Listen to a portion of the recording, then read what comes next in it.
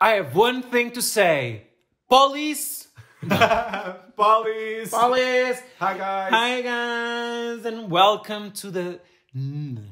Hi, Hey guys. guys and welcome to a brand new episode of Spilling the Crime, a true crime podcast with a glass of something that you like. So what are we going to talk today? So, Jonas, we are talking about another true crime story, of course. Oh, we are. But, Yes. but this time, we're going to take it home. We're gonna talk about something national. Yeah, something that you guys probably don't know about. Yes. Yeah, and this time also we are changing things up. Humberto decided to um, write a lot, and I decided to step back a little bit because I talk too much, and I want to stop hearing my voice when I edit. Let's see if I can do this, guys. So, He's eating a Dorito. yes, Okay. I can stop eating. Sorry. Yeah.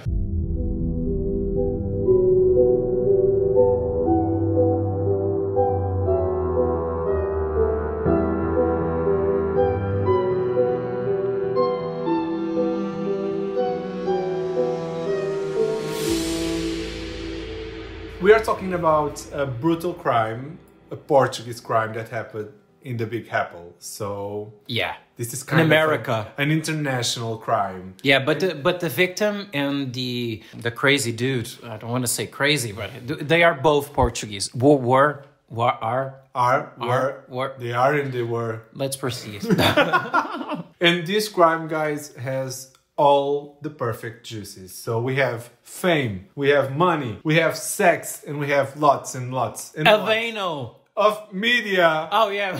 Of media, Jonas. We have Okay. lots of media. So grab your glass if you can. If you are driving, please don't grab your glass. yeah. And let's do this. Yeah. Summer's never Call to action moments. Ooh. Isso. This is our jingles. okay.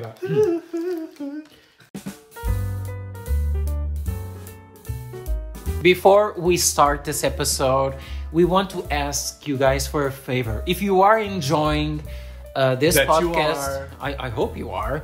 Don't forget to follow us uh, here on Spotify. Rate us. Rate us on iTunes. Give us your opinion. Only five stars, please. And if you have any any case that you would like us to discuss, please send us a DM. Oh, and also, if you have any creepy crime story in your family, or, or if you Oh know something, DM us because we might do a special episode with you With with, your your, stories. story. Yeah, I think that would That would be, be really great. It's always good to check cases that we don't know. It's the it's the case of this one. So enjoy the podcast and don't forget to rate us. This episode is based on a Portuguese uh, writer, Joana Amaral Dias. She did a podcast episode about this case. Um, it's completely in Portuguese, so so sorry guys, but she's amazing. she did an amazing job, and the timeline is perfect. So we decided, why not? Yeah, as a support. Here, uh, here we are talking about the crime of Renato Seabra and Carlos Castro, also known as what Renat- are you doing? Don't do that. Behave. Renato, Seabra, also known as Renato It Opens, and Carlos Castro. He had to do this. yes, I did. we want to teach you guys Portuguese words. O ambiente de tortura e violência vivido na prisão, diz a família, pode colocar a vida do jovem que matou Carlos Castro em risco. So this crime uh, happens in the Big Apple. We already told you that, and we have two main uh, lead roles here. Yes. I want to uh, read exactly how Humberto wrote, because for me it's it's amazing. So we have Carlos Castro, 65 year old homosexual, and Renato Seabra, 21 years old, blank. I have to justify myself. Yes. So the first one, the the old guy, he is homosexual. I know. He yeah, was. yeah. He was It's not every day that I hear the word homosexual. homosexual. And Renato, i- it opens. Uh, we are still to find. So Carlos and Renato. These are the names. Yeah. So where did this begin? So this began where all the love stories uh, began in 2007. Tinder. No, Facebook, of course. Oh yeah, I thought it was i five. Do you remember Two i five? Two teams died since then. Carlos Castro and Facebook. Oh my god. Ah. So they met on Facebook, and um, Renato was a model to be. Mhm. Yeah, and Carlos wanted to help him, right? Yes, Carlos was very influent Yeah, he was. Portuguese society. He was a famous colonist and would talk shit about a lot of people. If, you, for example, Perez Hilton, that, that's the best comparison that I can have. I think it's a fair comparison, a- a, a small uh, scale. Yeah, but uh, if I remember correctly, did didn't he uh, went to a competition? Renato, Renato, he did face uh, models, right? modeling. Uh, yes, a modeling contest. You, you guys can imagine America's Next Top Model, but in Portuguese version is like a, a, a low budget version of America's Next Top Model, and I wanted to be on that show. I saw Renato there, and I wanted to be in that show. I wanted to be there, but I'm not tall. Maybe when you remember this story, you think that it was the best decision that you not uh, you did not uh, participate. So they meet, and uh, Carlos promised to help Renato in his career. Yes, he was a, re- a really powerful man. And he was offering to help him with his modeling career. If you are from a small town and you have this opportunity to probably um, have some fame, I can see how this was tempting to someone. Yes. So maybe that's why he said yes. You would accept the help. But here's the thing, guys. So the help came with a cost. so Carlos was not trying to be super helpful. Yeah. He did want something in exchange. Yeah, they m- met each other in the capital, which is Lisbon, and they had a lot of vacations together. So, do you guys understand what's going on here? They were meeting to have sex. That's the. Basically, uh, they started a relationship, right? Yes. So 21 years old and 65, 65 years old. I like to recall some things. Yeah. So we we are in check. Mm-hmm. and Renato starts appearing uh, at home with some gifts Mm-hmm. and some things that he brings. Yeah, from his modeling jobs, or maybe the money that uh, Carlos was giving and helping. Mm, Maybe. Yeah, he starts receiving some money in his bank accounts too that he justifies with uh, some pictures that he took on on, the, on those jobs. Carlos were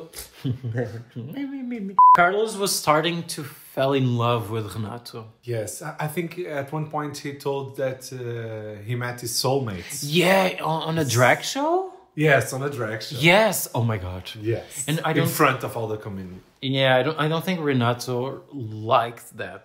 He didn't. Yeah. I think that was a problem. Carlos promised that one day he would bring Renato to New York. Carlos used to go there, so it was a normal thing, I guess. Yes, but let's talk a little bit about Carlos, our victim. He was someone that was always telling his friends that one day he would be murdered. That's so creepy. That's You really are- creepy. You are entering like the dark world now. Yeah, like the dark web, but I the mean- dark world. it was his biggest fear.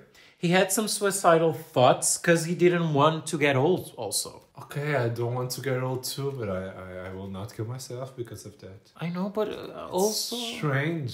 I know it is strange, but again, he was a colonist. It was his job. His job was to talk shit about other people. He had a lot of enemies and was aggressive in arguments and would probably threaten using his power. In fact, guys, some friends told that uh, Carlos, right in the the group, uh, Group chat? yes, that um, this was his last birthday.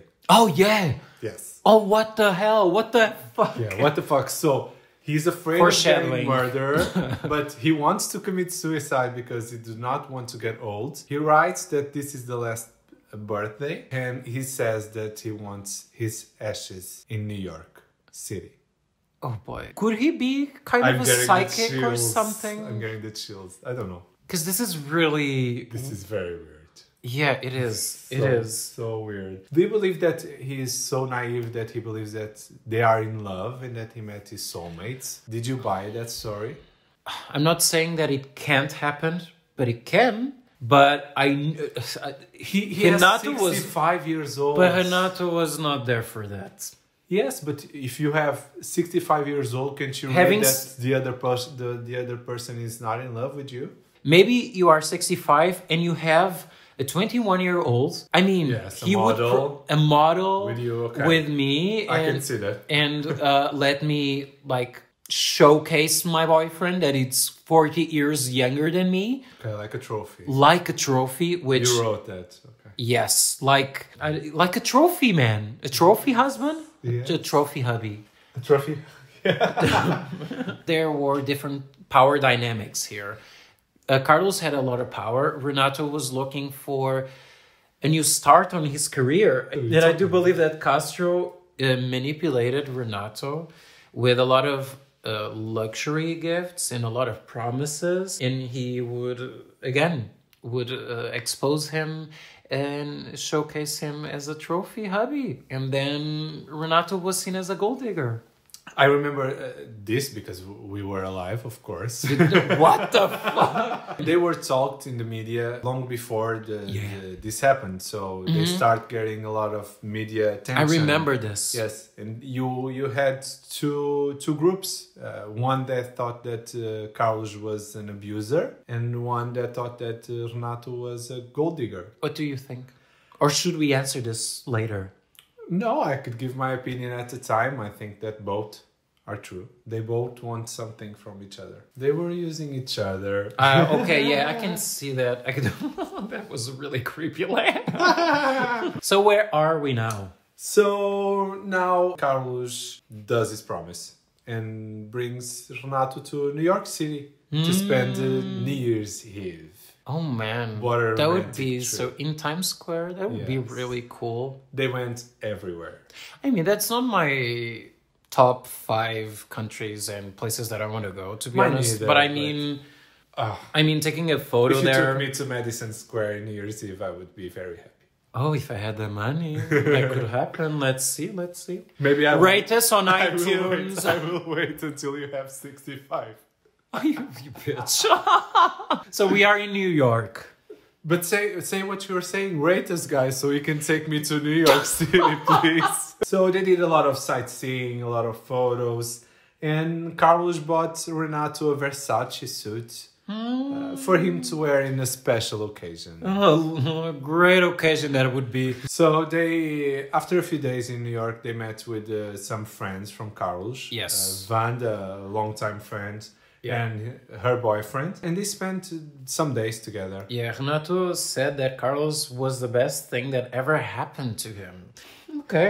It's kind of strange that you Yeah. treat the best thing that 21. happened to you. 21. I think the emotions are. We're speaking There. louder.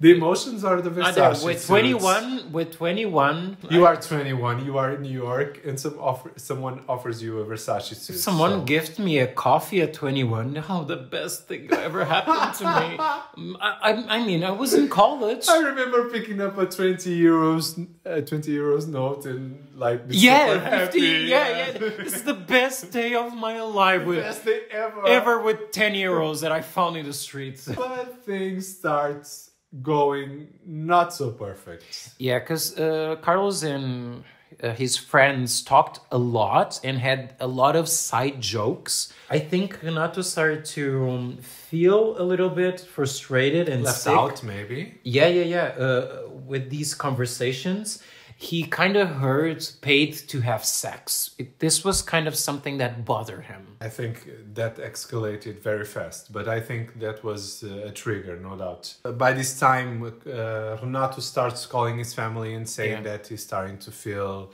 uh, disgusted by this lifestyle. He wants to go back to Portugal. all the Portugal. luxury and uh, the things, and he wants to go back to Portugal. Yeah, this is not a life for him, and he wants to go back to his roots. I think this is where he started to see the poor consequences of his choices. yes of his choice basically Yes.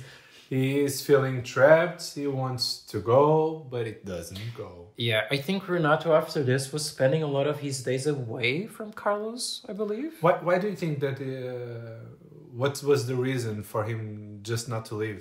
Because Carlos was giving him money all the time. and maybe he didn't want to burn some bridges don't forget that carlos Was he afraid? Maybe because Carlos uh, would probably scrutinize his person on on the media. He would probably I thi- I do think- that. I think one friend from Carlos gave uh, an interview. Flavio? No, another one. Okay. Giving, gave an, Another one. another one. that is from what? Another one. DJ Khaled. So I think one friend from Carlos said that. Don't compare. Oh, what? Don't copyright us. Don't copyright it. Yes, please don't block us. They told that Carl.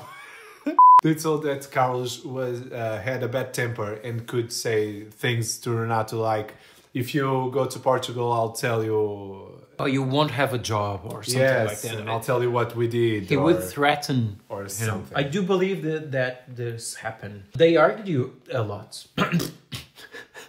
I do believe that Renato was spending a lot of days away. A majority of the time of the day, he was spending away. I didn't spend a lot of time focusing on this part, but I do believe that he was doing some things, going to the gym or having some fun and drinking some al- alcohol and probably being with some girls. Yes, I believe he was meeting some girls, and one day Carlos was looking for him and couldn't find him, and he found out that he was go he went to see some girls.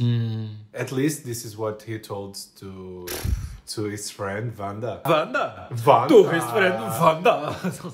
So they argue after this. Uh, Carlos went and picked Renato up, and they argue a lot about this. And I believe that Renato said in the car they went to dinner with Vanda and her boyfriend. And in the car, Carlos said that thing. Did you like the unwrapped chocolate, Chocolate. that I left for you in the hotel room? what the hell was that? What the fuck? Did you eat the chocolate? Is it a, a different know. thing? Why would you leave me leave me a, a chocolate unwrapped? Unwrapped. What the fuck? What the? F- With love. what? What? Don't you do that? What? It's like a, a little. No, no, no, no, no. It's like a piece of chocolate- chocolate with a. With, chocolate wrapped. Why would you? no, it's like a chocolate bar with I don't know a, a bite. Oh, great, nice. I think this is kind of a code uh, Like message. poop, like poop in a wrap. maybe poop in the toilet, like you didn't flush. I left a present for I left you. the present. we say that. I say say that. that, Oh, I just did a present. Whatever this was, Vanda told that in that uh, night at dinner, Renato was very happy. Yeah. All he wanted to do is um, celebrate something. Wasn't he a little bit tipsy or something? A lot of a lot. A lot, He- okay. He drank a lot. Yeah. And on the other side, Carlos was very closed. He was very sad and not behaving his usual. Because So- of the the chocolate, of course. The chocolate was something important. I don't know what that was.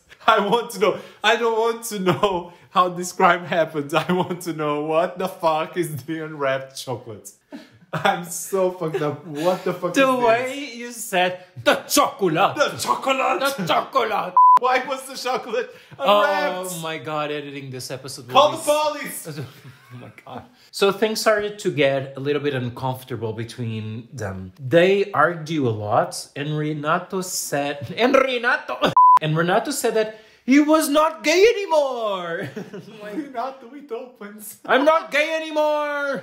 Renato, it opens. I'm not gay anymore. I'm like, okay, this is this this doesn't make any sense. Do you believe he was gay at that No. time? No, I think he took this opportunity. He was from a small town. He didn't have a lot of opportunities, and he saw this as a window of opportunity to be able to grow as a model and on his career to be to have money and everything. I do think that this is what happened here, and he was starting to to suffer with that, drinking alcohol and be drunk uh, in every single moment. He didn't want to feel that. He probably didn't want to have sex with Carlos. I believe that that, that is the case. But he was probably having sex and, and thinking, what am I doing? So he's not gay anymore. Maybe things went to um, some deep Yeah, Uh, I believe some deep. Some deep. Yeah, yeah, um, but but I think in the one of those arguments that they have, Renato said that he wanted to go back to Portugal. Never happened.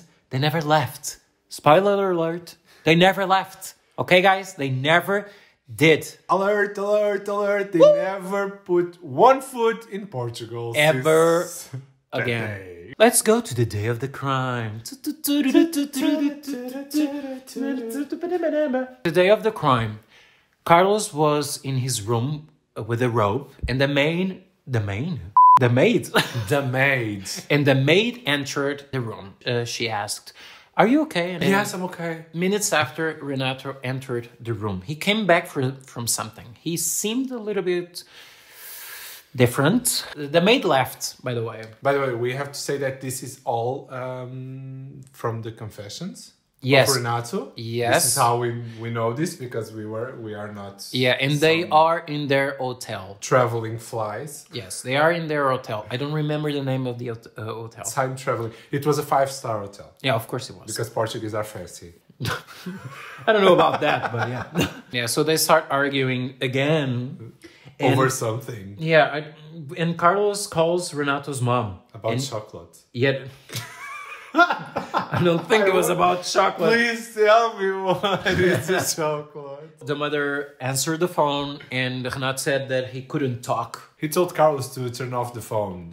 He didn't Yeah. want to spoke with his mother. I do believe they, um, that Carlos called uh, his mother again, and his mother, his Renato's mother, uh, heard that uh, something about, I don't want to talk to my mother about this. Do you believe that uh, Carlos was calling uh, some people just to calm down Renato? Maybe he was feeling angry or they were arguing a little bit more violent. So he tries to call Renato's mother to calm him down. Maybe, maybe, Carlos was afraid. I don't know how Renato was in this argument.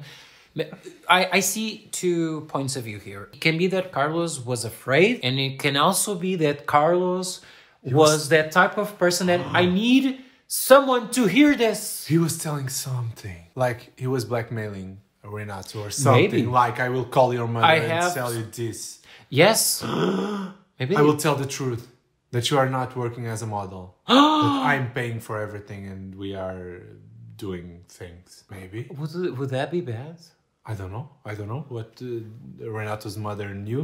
Don't forget that he was bringing uh, some photos, fake photos Yeah, to justify true, the money true. and the presents. Did the mother knew I about their know. relationship? I don't know. Ah. But I don't care.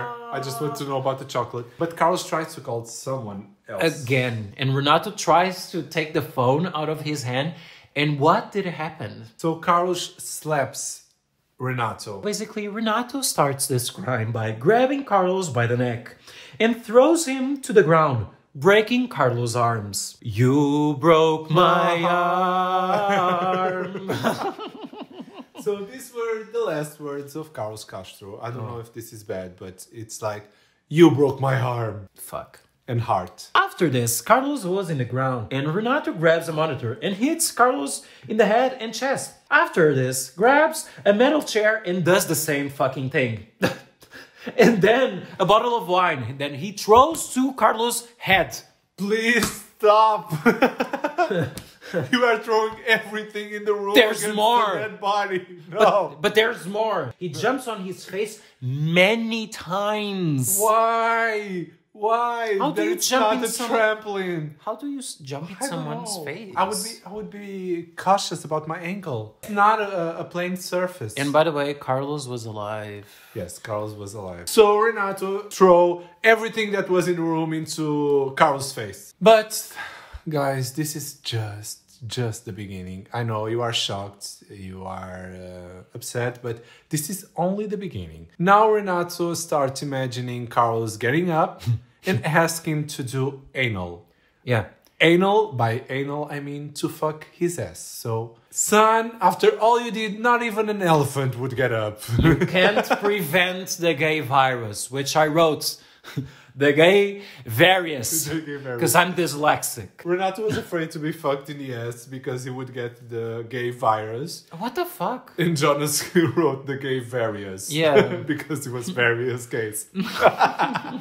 After this, he jumps again on his face. Again. again with his new shoes. I mean, he changed his shoes and jumped on his face. I, I, I don't understand the logic. There was a lot of blood there. There's a lot of emotion on this episode. Of course there is. I, I when I was listening to this, I would start grabbing my things and put put close to me because I was afraid that someone was going to grab the things that I was holding and throw somewhere. Like Renato oh, takes guys. his clothes off, grabs the uh-huh. bottle opener, cuts his lips, cuts one of his ears, and the testicles, the ball sack. Oh, God. Not the testicles, the ball oh, sack. Oh, I felt disgusting. Then- a corpse without face, It, that's what is disgusting you? lips to be cut after all the jumping. I don't know if that that it's still there. I'm not sure. Don't- oh, maybe Oh he, my God. or maybe he doesn't know how to jump. like the sack. Yeah, but then he grabbed the the testicles and takes off from Carlos' bodies with his bare hands. The voices in his head tells him to cut his wrists and to be able to be saved. Puts the testicles on his wrists to absorb the power of men. I don't know. I don't know if it is the power of men. I just say like the power of testosterone because he was afraid of being gay. Probably And to be saved. The voice told him that to be saved. There was no voice. you want to know what he did next, guys? We will tell you. I don't know what what is the worst part.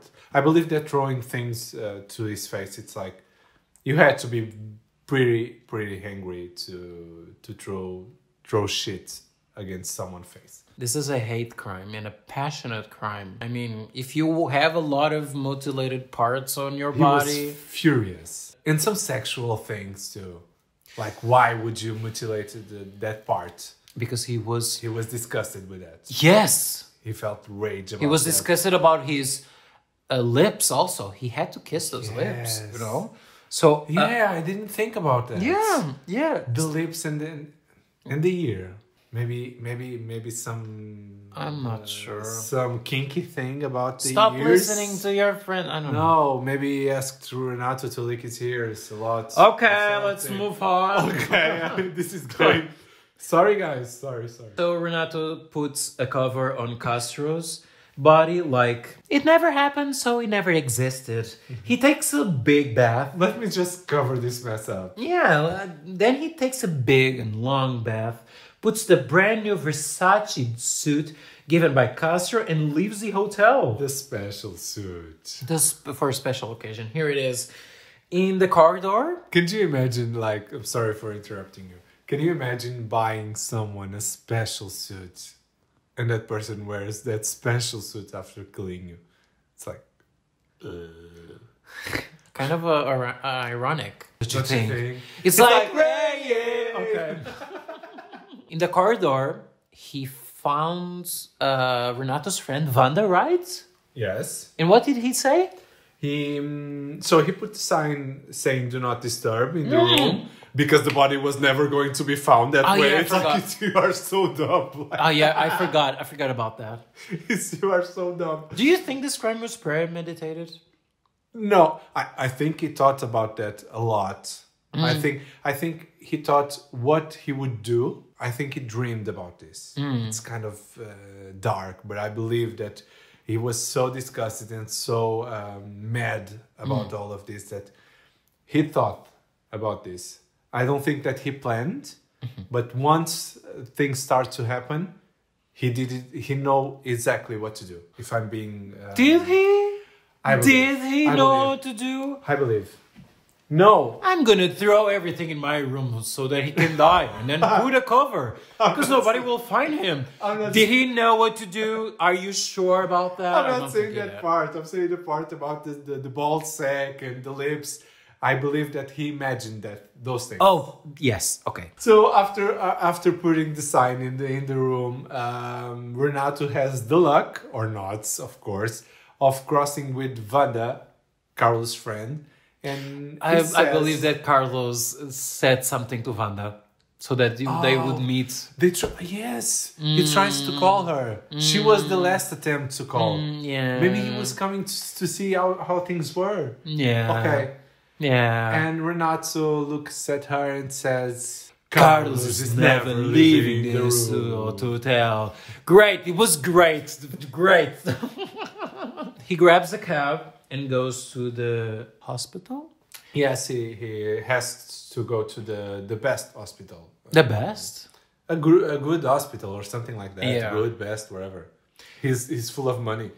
Oh yeah. Oh, because he grabs Yes. one thousand and six hundred dollars from Carlos' bag. And he's wearing Versace, bitch. Oh yeah. oh yeah, and this is the place where Renato confesses his crimes, and yeah, He says this creepy thing Mm. uh, when he confesses. He says that I made the world a better place. I think he got the fame that he wanted. By the way, guys, those who are uh, hoping that this is not true and that what we are saying didn't happen, uh, the autopsy that they did on the body proves that everything that Renato said Was true. did happen. Yeah.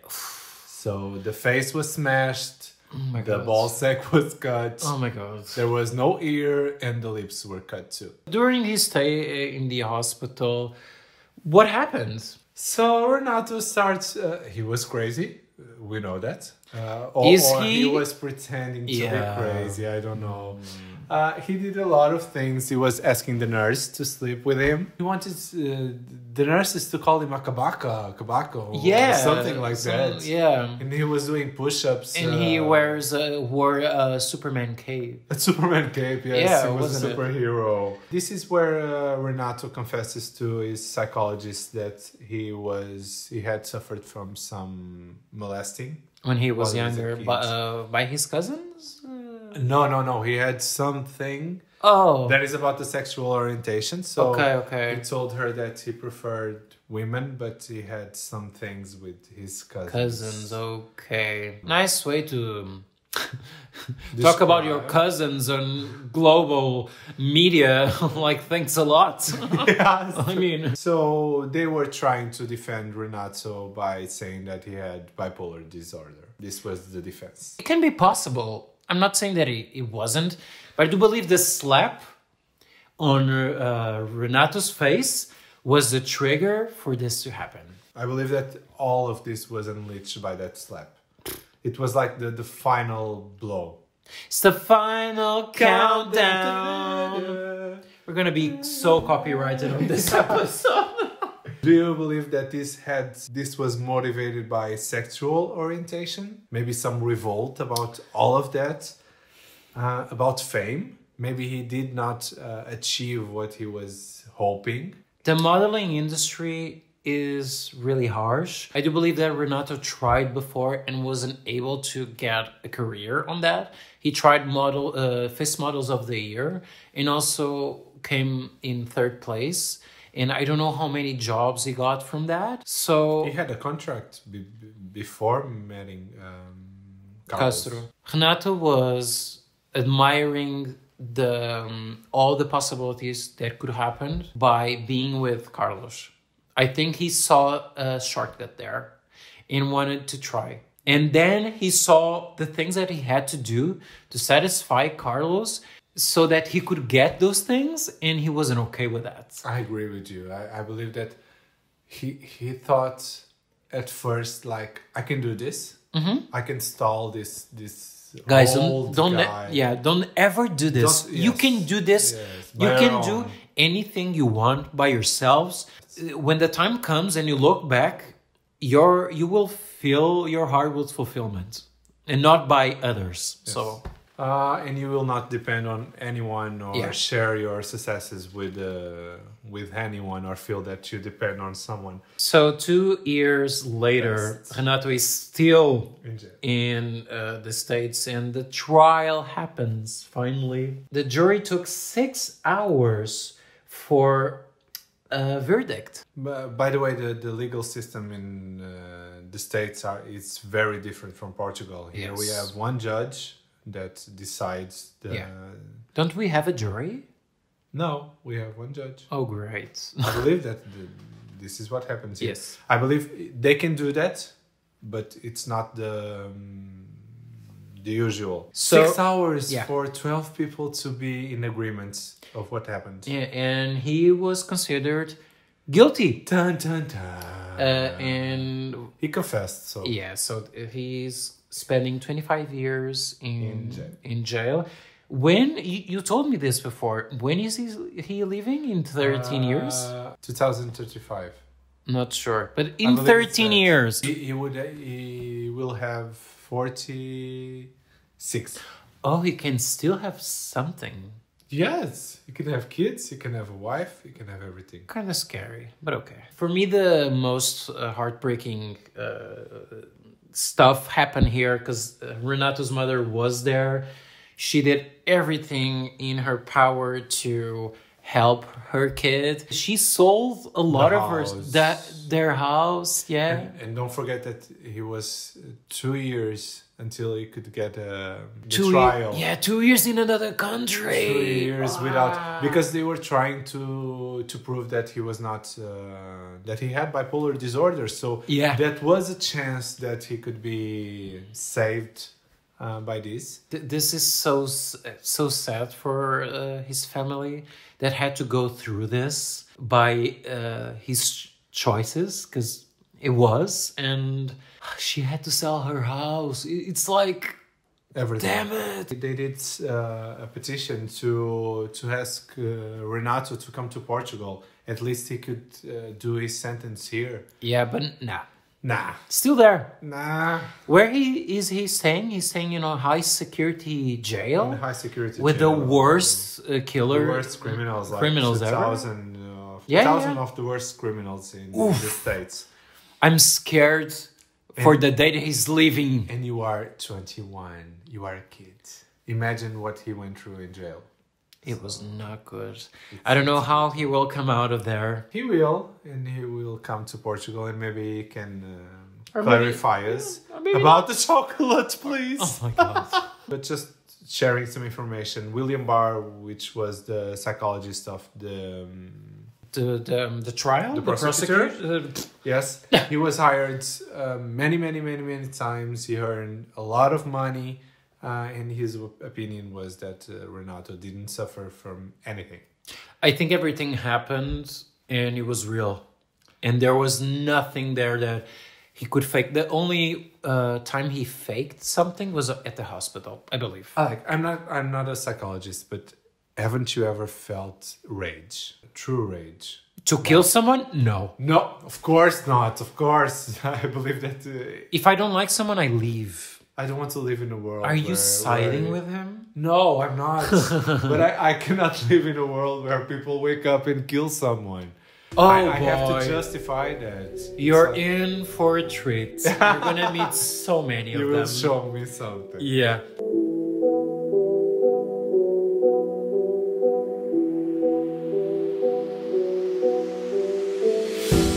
Oh my god, yes. there are also some crazy Portuguese uh, murderers. sleep after this, like for two weeks or something. But it didn't happen here, but it can. And there are a lot of crimes that happen here. And if you guys really liked uh, some Portuguese crimes, we can talk about it. Don't forget about Madeleine We have, McCann. we have some pearls here. Yeah, we do have. Yeah. Don't forget to follow us here on Spotify. Yes, rate us, guys. On iTunes, give us five stars if you really enjoy it, please, because it will really help us. Follow us on YouTube, follow us on Instagram, on every single platform of Spilling the Crime. Don't forget, if you have a spooky story or a crime story, send us an email to spillingthecrime at gmail.com. Are we talking the next episode? Do you have any idea? you Um, want to un- unravel something? Should we talk about Night Stalker maybe? The Night Stalker. Yes, it's a crime I don't know that story. I know, and it's he's really creepy looking. Will I sleep ever? Did you come? Not yet. Bye, guys.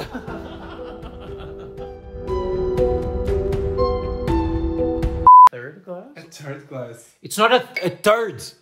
Don't say it's a third. A third, it's a, a It's a poop. Oh, it's a poop. Oh, everything it's a poop in this show. A third. A third é cagalhão. Okay, it's a cagadão.